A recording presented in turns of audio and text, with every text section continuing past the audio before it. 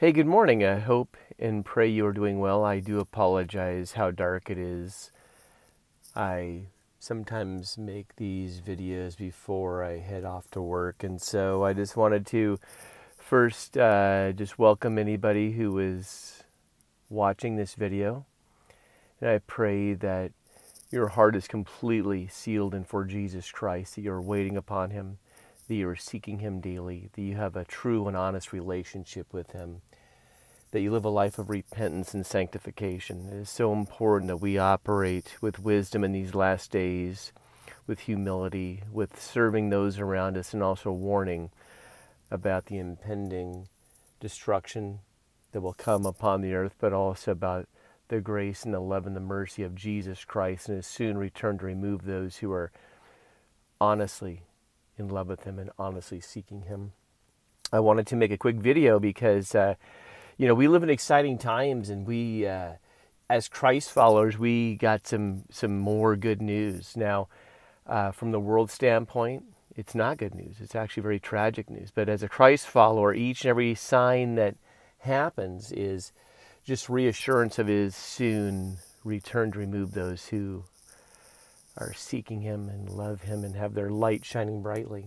And so, uh, oh, let's get right into it. So, uh, the leadership of our nation, they came forward and said that uh, all federal employees within the next 75 days must receive the uh, the venom of the serpent, or else they may risk losing their uh, employment, losing their job and you know these are these are very trying times which we are in and so i ask and pray that you ground yourself not only in the word of god but also in full faith and reassurance of jesus christ. And it is so important that we do not take the uh, ser- uh, the venom of the serpent.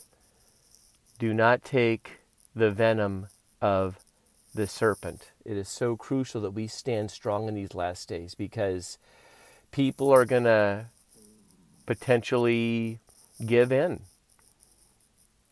There's, uh, shoot, I think there's a couple million federal employees, and you add up the military and all the federal workers. You know, there is hope.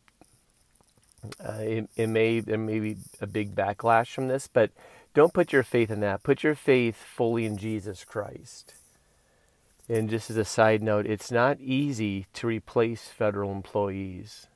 So if you're a federal employee and you're worried about this, I pray you don't worry because our time here on this earth is very short.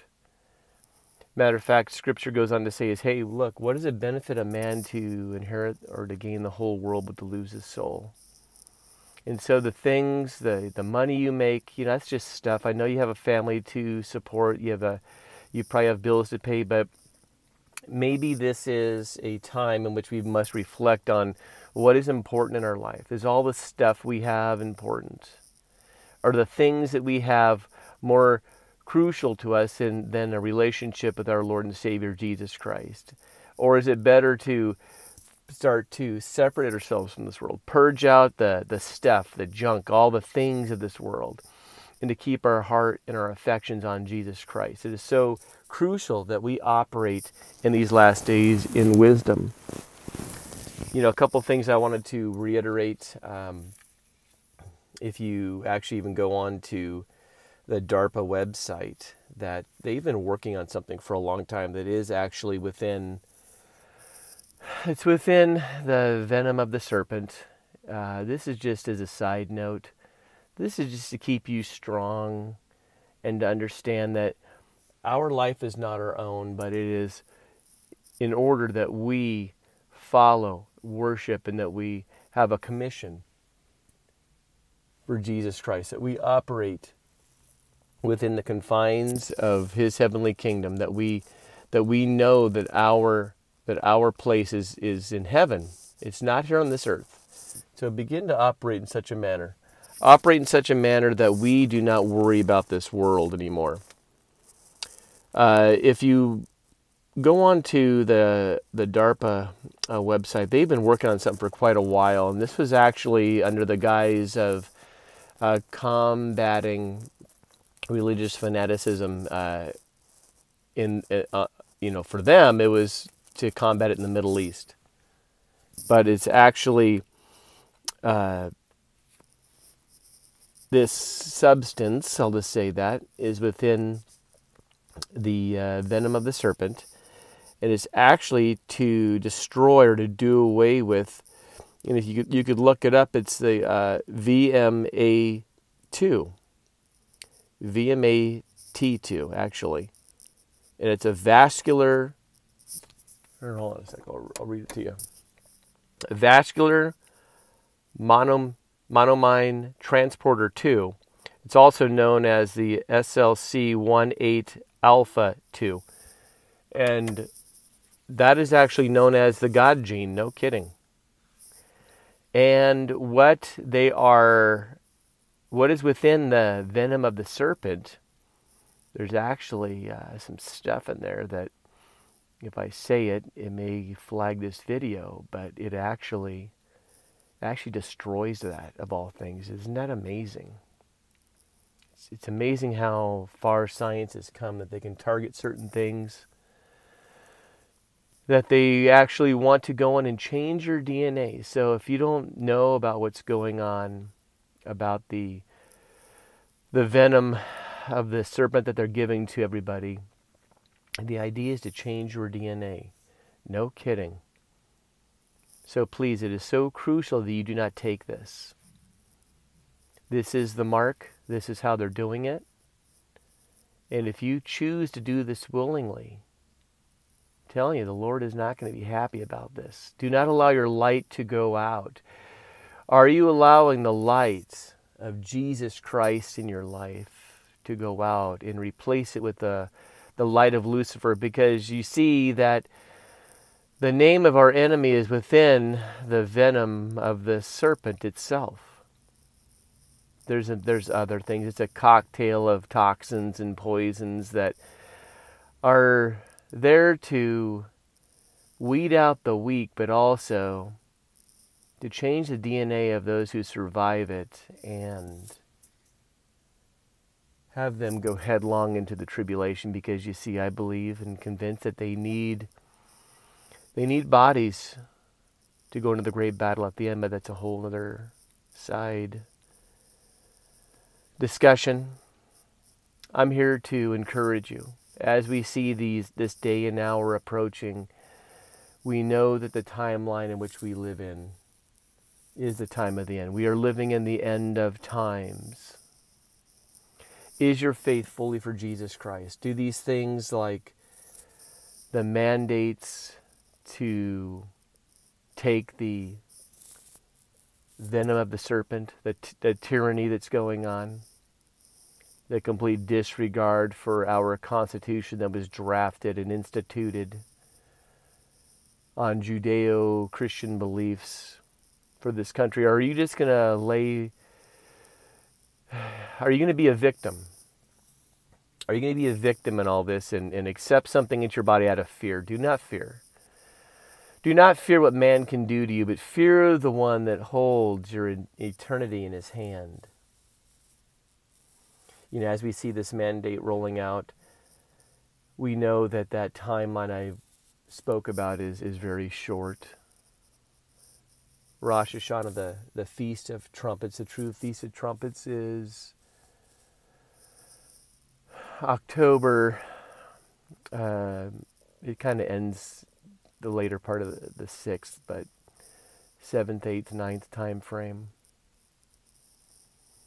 And that is a feast that the Lord Jesus Christ is to actually fulfill. And it's coming upon us within this next month. Over these next few weeks, over the until the Lord returns, I ask and pray that you completely and fully surrender and commit your life to Jesus Christ. Excuse me. It is so important you know, when things like this come up and they start threatening your jobs, because you see, at first, it was out of fear. And you can see the progression here. It doesn't take a wise man to figure this out. But you see, they first started off with fear, and then it went right into bribery. And now it's going to scare tactics and forced acceptance of the venom of the serpent. Because you see, there's other things within the venom. I wish I could share more with you, but I challenge you and encourage you to do your research about everything. About the thing you're waiting for to track you is already within the venom. I don't know why you're waiting. I don't know what you're waiting for if you're waiting for the Antichrist. I pray you and ask that you do not wait for the Antichrist, but you wait for Jesus Christ. And you keep your light shining brightly as a wise virgin. Do not be a foolish virgin and allow your light to go out. Do not allow the light and the love and the mercy and the grace of Jesus Christ to burn out and dwindle and fizzle out in your life and then accept the light of our enemy, the light of Lucifer. Because you see, again, like I mentioned before, the name and the substance within the venom of the serpent is with is the name of our enemy. And by receiving the mark, it's it's of his name or of the number of his name. And we all know that the number of his name is all over the venom in which I speak of. So please have eyes to see, have ears to hear, look around what's going on. Soon they will mandate it for everybody. I have been anticipating this, but everybody who works for the government, anybody who receives any type of government assistance, I'm sure, is next. So, people on welfare, those who receive Social Security. I also heard they are preparing to go after pensions. So, don't be blinded into believing that this is not the mark, because this is a mark. When you look throughout the world, these mandates, I apologize, are already going out throughout the world. Other countries are in full acceptance of this, and we must have eyes to see again, like I mentioned before. Do not take the mark, do not take the venom of the serpent within you. And if you have, if you were deceived because of fear, you did not trust in the Lord, I personally would go before the Lord in full repentance and beg for mercy. Repent for what you've done and not trusting in Jesus Christ, but trusting in man, trusting in in the enemy. Because that's when you trust in man, that's actually who you are trusting in. Because you see, there's only two kingdoms. There's the kingdom of light of Jesus Christ and Abba Father in heaven through the power of the Holy Spirit, and also there is the kingdom of darkness. There is no middle ground. There is no middle road. Jesus Christ Himself says, if you are lukewarm or if you were in the middle, if you are straddling the fence, I will spit you from my mouth. So, this is a word of encouragement as we see these things happening. As we see that day and hour approaching, each and everything that comes up, this is for us to rejoice in knowing that our Savior, our Lord, is almost here. And if we if we are persecuted, if we go through trials, if we go through types of tribulation, rejoice and accept it. I know it's scary times, but have faith in Jesus Christ and knowing that this that this world is not our home, but our home is with our Father in heaven, with, with Jesus Christ the Lord. Put your faith there.